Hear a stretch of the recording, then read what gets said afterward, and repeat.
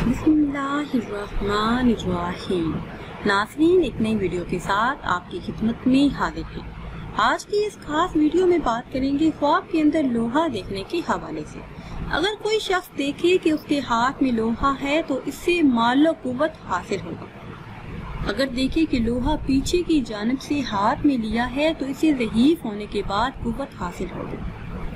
अगर कोई देखे कि ख्वाब में लोहे को खाता है तो उसे हर जगह फतह कामरानी हासिल होगी। अगर देखे कि रोटी के साथ लोहे को खाया है तो दलील है कि वो धोखेबाज है और उसकी मशीयत को खसारा होगी अगर साहिब ख्वाब देखे कि लोहे को दांतों से चबा रहा है तो इसकी कौम को शान शौकत के बाद नुकसान पहुंचेगा। अगर देखे कि इसे लोहे या शीशे या सोने का ढेर मिला है तो इसकी दुनियावी भलाई जिस काम के पीछे लगा हुआ है, इसमें कुत की तरफ़ इशारा है। अगर देखिए कि उसके लिए लोहा नरम हो चुका है तो उसे बादशाहत वसी रिस्क हासिल होगा।